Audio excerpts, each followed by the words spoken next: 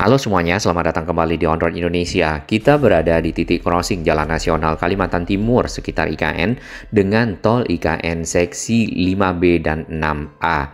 Seperti kita ketahui, kawasan inti pusat pemerintahan KIPP yang terdiri dari Komplek Istana Presiden, Gedung Kementerian terus dikerjakan penyelesaiannya agar nanti bisa dipakai sebagai lokasi peringatan Hari Ulang Tahun Kemerdekaan Republik Indonesia yang ke-79 dan menjadi penanda pemindahan ibu kota negara Republik Indonesia dari Jakarta ke IKN. Komplek Istana Presiden seperti yang kita bisa lihat di media sosialnya PUPR BPPW Kalimantan Timur di sini sudah makin hijau dan makin mendekati selesai. Komplek istana ini terdiri dari tiga bagian besar. Yang pertama adalah lapangan upacara di depan sana yang sudah ada tiang benderanya. Kemudian ada istana negara yang sudah dipasang burung Garuda di sisi atas dan kantor presiden di bagian belakang yang nantinya secara penuh akan membentuk seperti burung Garuda. Walaupun burung Garuda tersebut adalah bilah-bilah yang disusun untuk menutupi area kantor presiden. Selain itu area gedung-gedung kementerian yang berada di depan dari komplek Istana Presiden terus dilanjutkan pekerjaannya karena akan dipergunakan nanti oleh kementerian-kementerian koordinator ya. Terdapat empat gedung kementerian koordinator di sepanjang plaza seremoni di depan dari Komplek Istana Presiden yang juga sering dikunjungi oleh Pak Presiden dan jajaran menterinya untuk melihat progresnya yaitu Gedung Kementerian Koordinator Polhukam Maritim Investasi, Perekonomian, dan Sumber Daya Manusia serta Kebudayaan. Secara keseluruhan nanti kawasan inti pusat pemerintahan dari Istana Presiden yang ada di ujung sana ke arah Plaza Seremoni kemudian di sini ada titik nol ya, Plaza Bineka, kurang lebih seperti ini. Sedangkan gedung-gedung yang ada di kiri kanannya di sepanjang arah tenggara dari Komplek Istana Presiden adalah seperti ini. Ada gedung-gedung selain uh, gedung kementerian ya di sana untuk melengkapi fasilitas-fasilitas yang ada di ibu kota negara. Secara lengkap akses tol IKN kita akan mulai dari arah Balikpapan menuju ke arah uh, barat daya ataupun ke arah IKN sendiri. Balikpapan ke arah Penajam sebenarnya ada pelabuhan penyeberangan yang bisa dipakai warga menaiki feri atau juga memutar ya ke arah Samboja Sepaku. Dari Bandara Sams ataupun Sultan Haji Muhammad Sepinggan Balikpapan ada akses jalan utama menuju ke tol Balikpapan Samarinda. Tol ini sebenarnya sudah selesai ya beberapa waktu lalu dan sudah dapat dipergunakan oleh masyarakat menuju ke Samarinda yang berjarak kurang lebih 100 km. Tol Bali Papan Samarinda ini nanti akan bercabang di sekitar Karangjuang dan tersambung dengan tol IKN seksi 3A kemudian dilanjut seksi 3B. Sebenarnya di Karangjuang sendiri ada akses tol keluar masuk off ramp dan on ramp ke arah KKT Karyangau ya. Ini aksesnya. Namun tol yang kita lihat di sini memang jalannya jauh lebih lurus dibandingkan dengan jalan nasional biasa ataupun jalan akses. Lalu tol ini melintasi Sungai Wain ya. Di situ Sungai Wainnya seperti huruf S dan dilanjutkan ke arah Tempadung. Di sini tol akan bercabang yang satu ke jembatan Pulau Balang, kemudian satu lagi adalah seksi 4A 4B yang lebih dekat ke IKN. Namun itu belum dikerjakan dikarenakan adanya tol bawah laut ya di sekitar sini. Nah, untuk yang ke arah jembatan Bentang Panjang Pulau Balang di sini ini adalah tol seksi 5A. Kemudian menyeberang jembatan bentang panjang Pulau Balang, Pulau Balang sendiri serta jembatan bentang pendek Pulau Balang yang sedang dikerjakan duplikasinya, nanti tol akan lurus ke arah Bandara IKN dan itu sudah masuk seksi 5B. Akses ke arah bandara nanti tentu akan tersambung dengan tol seksi 5B ini.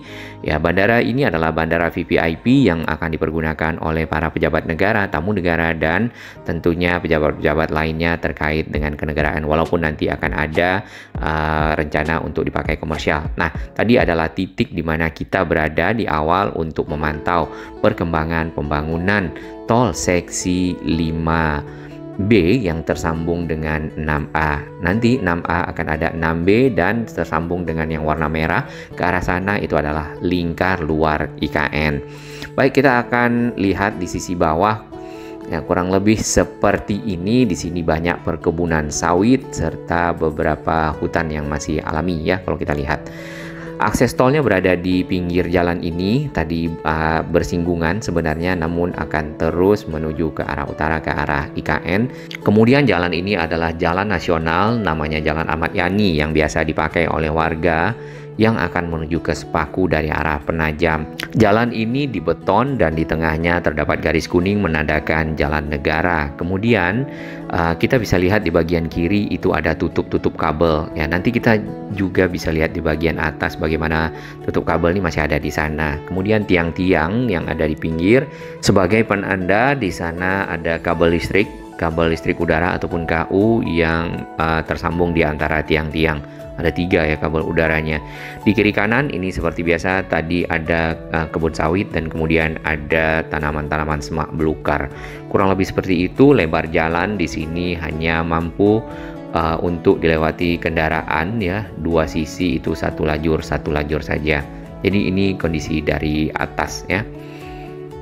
Nah, jalan tolnya persis berada di samping jalan nasional tersebut dan uh, secara uh, struktur serta arah itu lebih lurus menuju ke arah IKN tentunya akan menjadi lebih cepat akses menuju ke ibu kota Nusantara tersebut dari bandara VVIP. Kondisi real di lapangan adalah seperti ini ya.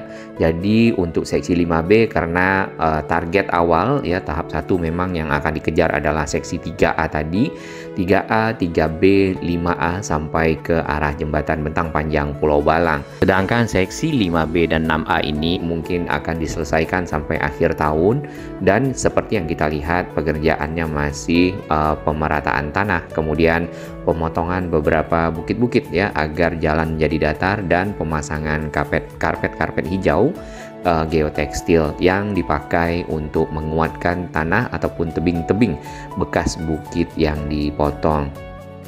Di bagian bawah dapat kita lihat ini ada alat-alat berat yang sudah banyak dikerahkan di area pembangunan jalan tol seksi 6A ini. Dan ke arah sana itu adalah ke arah ibu kota Nusantara yang nanti juga tersambung dengan lingkar luar IKN. Alat-alat berat di sini ada ekskavator, ada uh, semacam drilling rig ya. Tapi nampaknya biasanya ya itu dipergunakan untuk pemasangan PVD ataupun prefabricated uh, vertical drain dan horizontal drain. Nah, fungsinya untuk mengeluarkan air yang ada di tanah baik itu secara vertikal ataupun horizontal, kemudian tanah menjadi padat dan ditimpa kembali kalau tanahnya turun maka akan dipadatkan lagi sehingga nanti jalannya memiliki landasan yang cukup kuat ya karena kan memang tanah Kalimantan, tanah Sumatera itu ada juga tanah-tanah yang gambut ataupun tanah-tanah lunak seperti itu. Beberapa bagian itu masih ada tanah yang belum diolah ya, masih tanah bekas perkebunan ataupun juga ada hutan. Terdapat besi-besi di bagian bawah sini, ya di kanan, kemudian kendaraan-kendaraan operasional nampaknya bagi para pekerja. Ke arah sana ya kita bisa lihat itu sebenarnya bukit, jadi mungkin akan diratakan.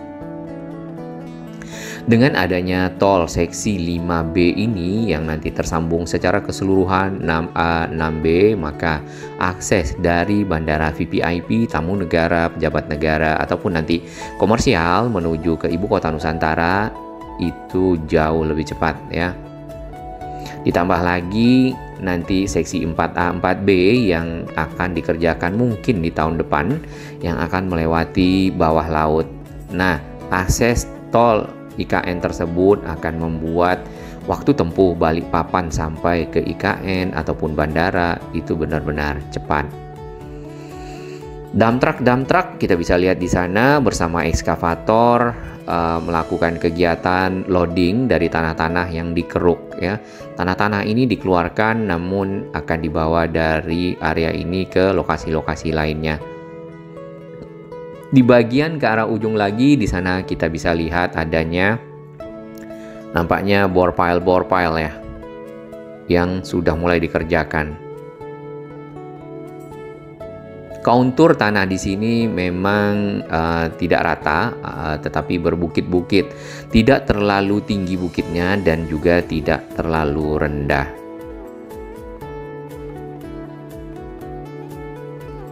Kemudian dari bukit-bukit yang di sini di uh, tanahnya digali ya, diratakan, kita dapat melihat ada bukit yang tanah coklat ya. Kemudian di bawahnya itu ada yang seperti pasir.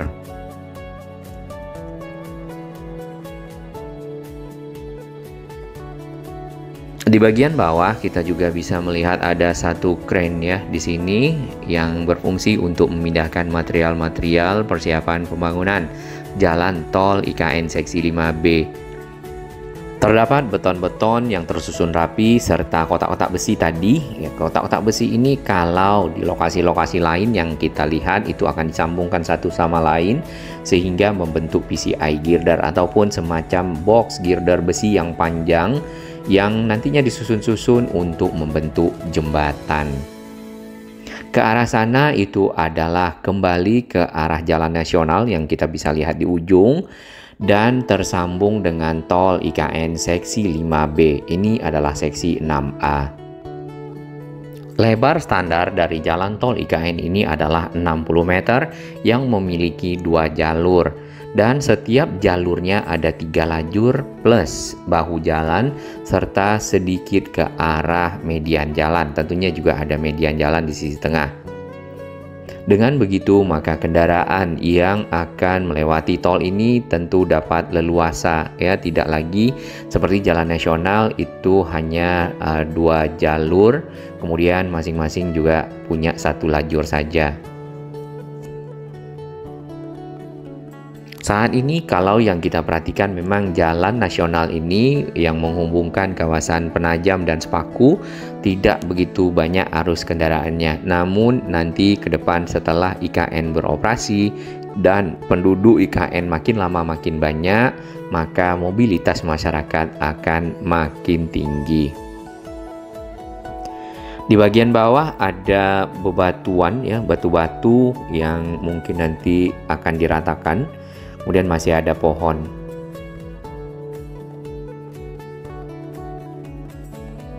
Nah, karena jalan tol IKN seksi 6A dan 5B yang crossing dengan jalan nasional ini, maka pertanyaannya apakah nanti akan ada off-ramp dan on-ramp? Kita belum tahu. Namun, apabila ada itu akan sangat membantu akses masyarakat yang akan menuju ke Penajam menggunakan kendaraan dari arah Balikpapan Samarinda melewati uh, seksi 3A, 3B ya, kemudian 5A jembatan Pulau Balang dan Pulau Balangnya sendiri serta seksi 5B di sini dan masuk ke jalan nasional.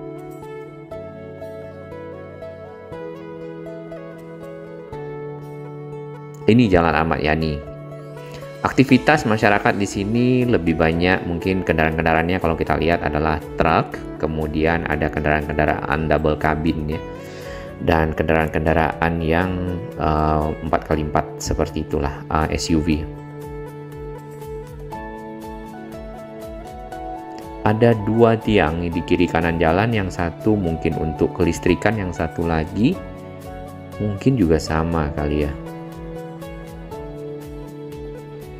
Berarti jalan uh, nasional ini crossingnya berada di sini karena ini adalah persis bersinggungan ya bersisian antara jalan tol IKN dan juga jalan nasional Ahmad Yani di Kalimantan Timur di sekitar area IKN.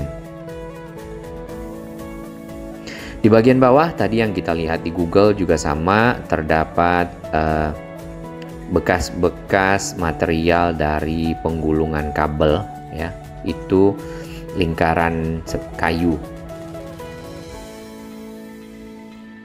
Nah, ke arah sana ini Jalan Nasional Ahmad Yani yang ke arah titik nol eh, IKN Ibu Kota Nusantara yang saat ini ditutup untuk pekerjaan penyelesaian ya Plaza Bukit Bendera dan juga mungkin akses lainnya yang ada di sana. Dikarenakan kauntur di area IKN ini dan di kawasan Penajam berbukit, berbukit ya tentunya jalan itu uh, yang ada sebelumnya itu tidak lurus. Jadi memang berbelok-belok. Akses masyarakat saat ini untuk menuju ke IKN itu adalah lewat Samboja. Di sini ada akses tol di sekitar Samboja yang bisa dipakai untuk keluar masuk menuju ke Samarinda atau juga ke Balikpapan Nah, akses tol ini yang satu ke arah Samboja ke arah timur di sini, kemudian yang satu lagi ke arah barat itu adalah ke arah Sepaku yang juga ke arah ibu kota Nusantara. Ini adalah pertigaan uh, untuk area keluar masuk tolnya. Dan kalau kita telusuri arah dari jalan nasional ini, menuju ke arah Sepaku memang melewati area perbukitan, kemudian juga uh, jalannya akan berbelok ya, uh, banyak belokan lah kurang lebih seperti itu.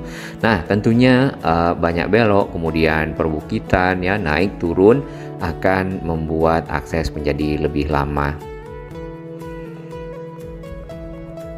Ini adalah kawasan Sepaku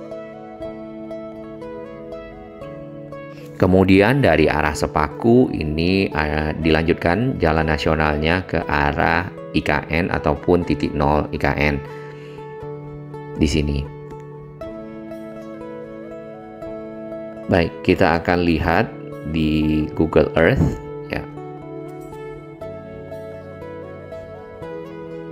Nah, ini kondisi jalan yang ada di sekitar uh, titik nol eh, ke arah titik nol ya dari arah Sepaku di sini ada rest area untuk makan. Kemudian hutan yang ada di sekitar sini lebih banyak memang hutan industri dan ini adalah pohon-pohon eukaliptus yang dipakai uh, sebagai material dasar pembuatan kertas ya yang juga kita kenal untuk pembuatan uh, minyak kayu putih ya eukaliptus. Dan di area titik nol ini nanti juga tersambung dengan akses tol IKN seksi 4B. Eh, Kita akan melihat sedikit uh, di area kawasan inti pusat pemerintahan di Komplek Istana Presiden, kemudian ada gedung-gedung kementerian berdasarkan informasi yang ada di medianya PUPR dan PPPW Kaltim. Secara desain adalah seperti di kanan atas, kemudian realisasinya ada di sini. Di bagian kiri itu ada semacam lingkaran, setengah lingkarannya itu adalah uh, Tugu Selamat Datang yang ada uh, ke arah Jalan Sumbu Kebangsaan. Kemudian di bagian bawah ini adalah area yang biasa dipakai untuk uh, jembatan-jembatan untuk melihat ya viewing deck namanya melihat-lihat uh, area embung, area konservasi air, taman yang ada di Plaza Seremoni yang juga tersambung ke arah uh, Plaza Bineka. Sudah cukup rapi, sudah cukup bagus dan bisa kita bilang ini nantinya ya mudah-mudahan memang mirip dengan desain yang bagus dan tentunya uh, dapat dipergunakan oleh pemerintah dalam beraktivitas ya kemudian juga para ASN-ASN aparatur uh, sipil negara yang akan tinggal di sini serta masyarakat yang ada di ibu kota Nusantara nantinya.